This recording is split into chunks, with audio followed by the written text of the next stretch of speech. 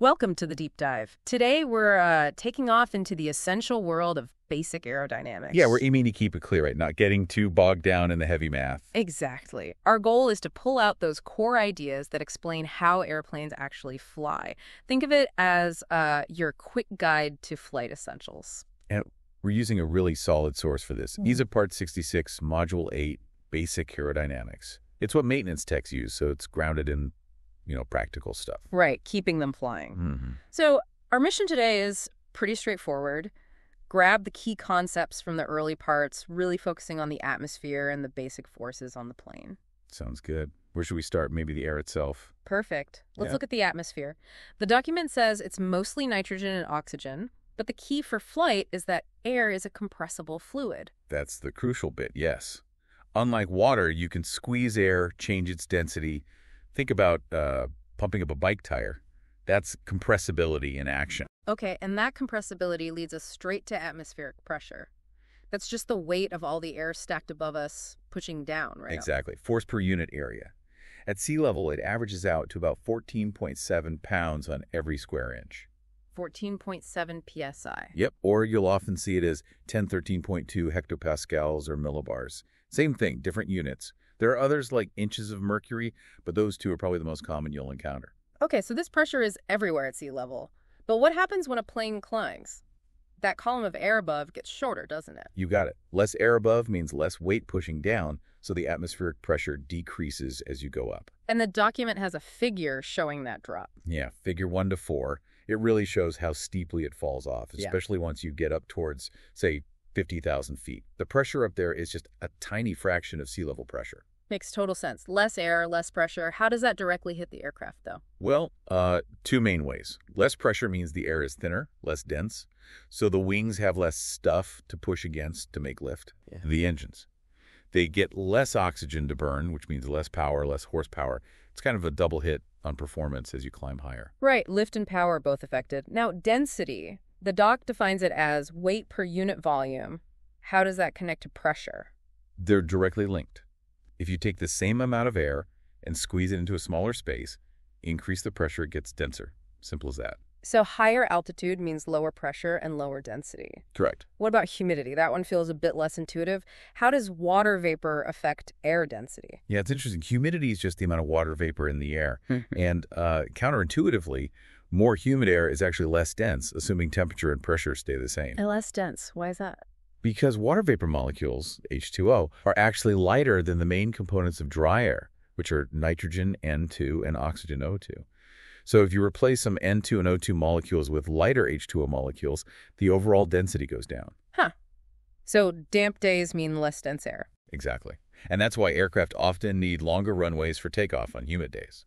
Less dense air means less lift and less engine power, just like high altitude or high temperature. It's a real factor. Wow, okay. Definitely something to remember. So we've got pressure, density, humidity. What about temperature? It gets colder as you go up, right? Oh, yeah. In the troposphere, which is where most civilian flying happens, the temperature drops pretty consistently. It's about 2 degrees Celsius or uh, 3.5 Fahrenheit for every 1,000 feet you climb. That's the layer closest to the ground. Right. Then you hit the tropopause, a sort of boundary layer where the temperature level's off for a bit. It's really cold up there, like minus 57 Celsius, roughly. Brr. And above that. Above that's the stratosphere. Yeah. And weirdly, the temperature actually starts to increase again as you go higher in the stratosphere. So military jets and uh, specialized flights go up there. Mm. It's also where the ozone layer lives. Figure 1 to 6 shows these layers quite nicely. Okay, so cold up high. But you mentioned hot days affect takeoff too. Why is warm air bad for performance? It comes back to density again. Warmer air is less dense than cooler air, all else being equal. Ah, right. So just like with humidity or high altitude, on a hot day, the engines get less dense air, meaning less oxygen for combustion, so less power. And the wings get less dense air to work with, meaning less lift at the same speed. So yeah, hot days mean worse takeoff performance. It's all interconnected. Pressure, temperature, humidity, all feeding into density. Precisely. Which brings us to the International Standard Atmosphere, or ISA. You see that mentioned a lot. Yeah, what's the point of the ISA if the real atmosphere is always changing? Well, that's exactly why we need it, because the real atmosphere is always changing. The ISA is a kind of idealized average model of the atmosphere, Think of it as a fixed benchmark. A standard ruler to measure against? Exactly. It's defined by bodies like ICAO and ISO. It gives everyone, designers, engineers, pilots, a common reference point for calculations, for comparing aircraft performance, and really importantly, for calibrating flight instruments so they read consistently worldwide. Makes sense. So it provides standard values for pressure, temperature, density at different altitudes. Yep. Figure 1 to 7 in the source lays out those key values, altitude, temperature and CNF, pressure in CI and HPA, density, all tabulated for standard sea level, 10,000 feet, 20,000 feet, right up the scale. Super useful reference. Okay, quick recap then. The big four factors affecting the atmosphere are pressure, density, temperature, and humidity. Got it. ICAO sets the standards for studying it, Right. and the best conditions for aircraft performance are cold, dry days at low altitude because the air is densest then. You nailed it. And if it's, say, 20 degrees Celsius at sea level, Mm. it'd be roughly minus 40 C, way up at 30,000 feet. Yeah, that's the right ballpark based on that standard lapse rate. Oh, and the instrument for measuring pressure. The barometer. the barometer. And Mm. most flying we do is in that first layer, the troposphere. Okay. Atmosphere basics covered. Now let's get into the aero part, how planes actually generate the forces needed to fly. Right, aerodynamics. Basically, it's the study of how air moves and interacts with objects moving through it, like uh, how air flows around a wing. And the document talks about relative wind. That sounds important. It is. Relative wind is just the airflow direction as the aircraft sees it.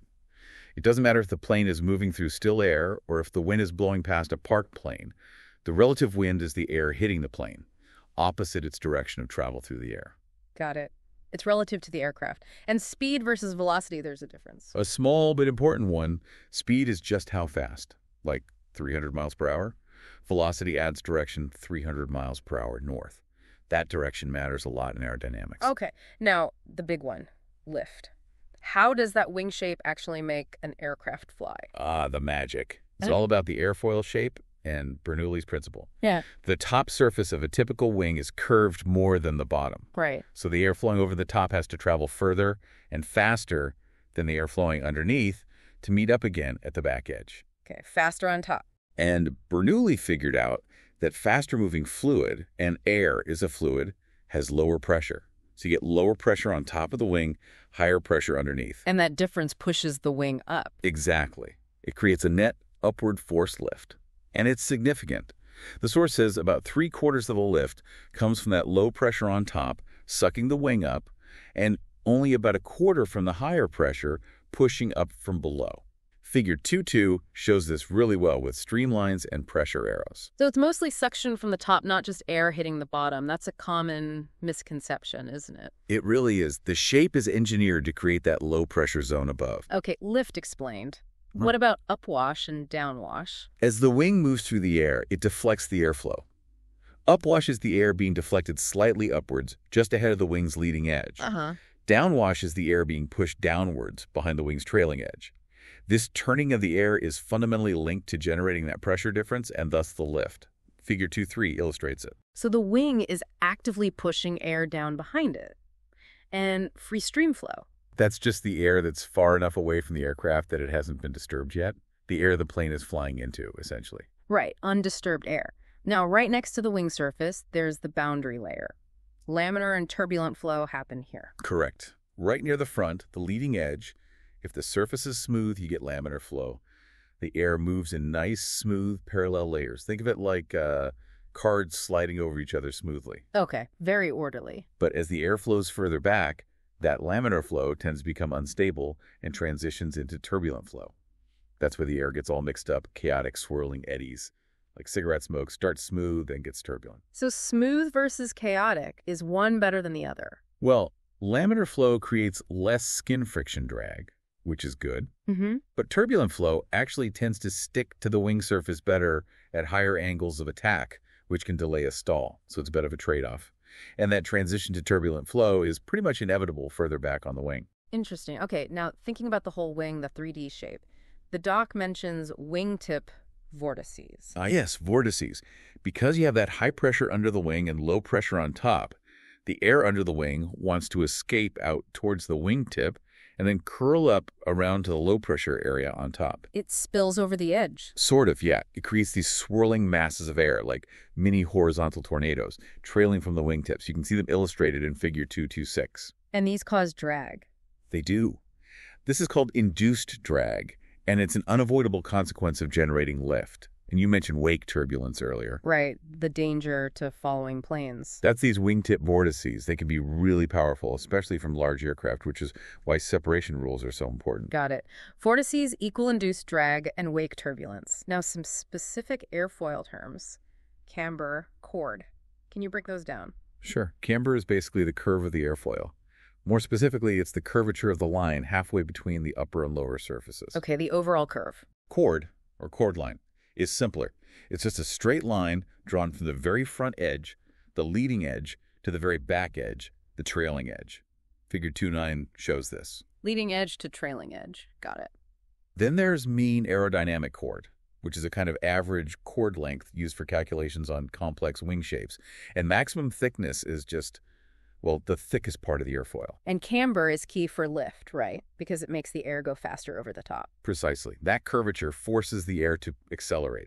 Figure 210 shows the airflow, and you'll see different airfoil shapes, different cambers designed for different flight speeds, subsonic versus supersonic, as shown in Figure 211. Okay, what about wash in and wash out? They sound like laundry terms. Huh.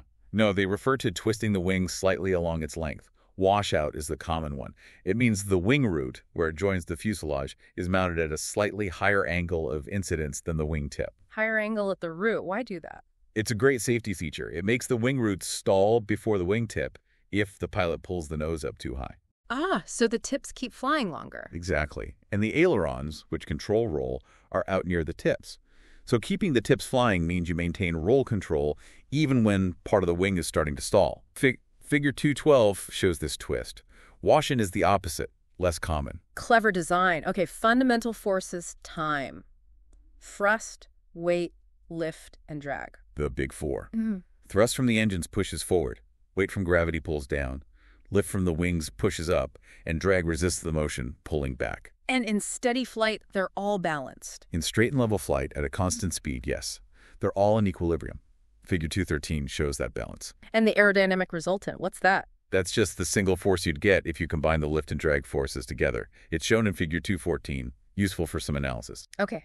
Now, angle of attack, or AOA, super important, right? How's it different from angle of incidence? Crucially different. Angle of incidence is fixed. It's the angle of the wing is bolted onto the fuselage part of the design. Okay, fixed angle. Angle of attack, AOA, is dynamic.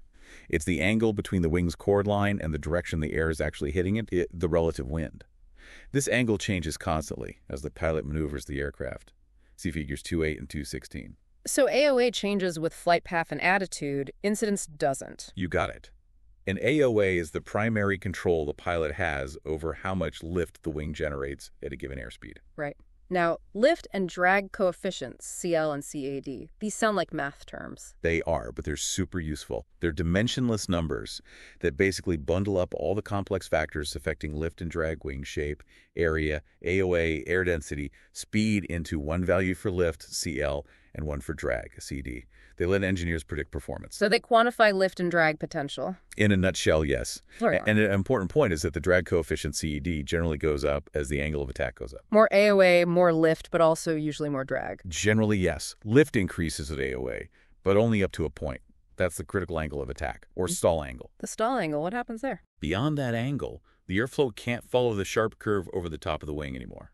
It separates, becomes turbulent and detached. That's called the burble point. And lift just disappears. It decreases dramatically and drag shoots way up. Yeah. The wing stalls. Definitely not a situation you want to be in unintentionally. No kidding. Okay, what about the center of pressure, the CP? The doc says it moves. It does. The CP is the single point on the wing's chord line where you can consider the total aerodynamic force, lift and drag combined, to be acting. Okay. And its location isn't fixed. As you increase the angle of attack, the CP typically moves forward along the chord. As you decrease AOA, it moves backward. This movement, as figure 217 notes, can make the aircraft unstable if not accounted for in the design. Unstable, right. Now, the lift to drag ratio, L over D, that sounds like an efficiency rating. It is exactly that. LD ratio is a key measure of how aerodynamically efficient a wing is. Higher LD means more lift for less drag. Hmm. Very desirable for range and fuel economy. And it changes with AOA. Yes, there's a specific angle of attack where the LD ratio is at its maximum. That's the wing's most efficient point. Okay, efficiency peak. Finally, let's break down the different kinds of drag. There's parasitic, induced. Right. Parasitic drag is basically everything that's not directly related to producing lift. It's just the resistance of the aircraft moving through the air. Like air resistance on a car. Pretty much. It has a few parts. There's form drag, caused by the shape of the aspect. A blunt shape causes more flow separation and a bigger turbulent wake behind it, hence more drag than a streamlined shape. Mm-hmm. Think of a flat plate versus an airfoil, like in Figure 218. Shape matters. Definitely. Then there's friction drag, or skin friction. That's literally the air rubbing against the surface of the aircraft within that boundary layer. Rough surfaces, rivets sticking out, they all increase friction drag. So smooth surfaces are key. Absolutely. Smooth paint, flush rivets, keeping the surfaces clean all help reduce skin friction. And the last type of parasitic drag. Interference drag. This happens where different parts of the aircraft meet, like where the wings join the fuselage or the tail joins the body. The airflows interfere with each other, causing extra drag. Figure 219 shows an example. Okay, so form, friction, interference, that's parasitic drag. And induced drag, just to recap.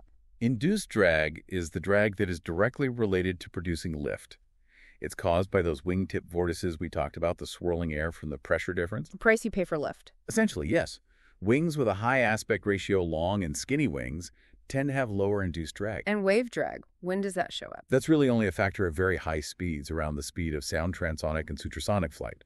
Shock waves form on the aircraft, and creating those shock waves takes energy, which shows up as a significant drag increase. We'll see that in figures 310 and 311 later. Okay, high-speed stuff. One last really critical point. Aerodynamic contamination. Ice, snow, frost. Hugely critical. Any contamination on the wing, especially the leading edge, Mm. can be incredibly dangerous. Even a thin layer of frost, something that looks harmless, Yeah. it completely disrupts that smooth airflow we need for lift.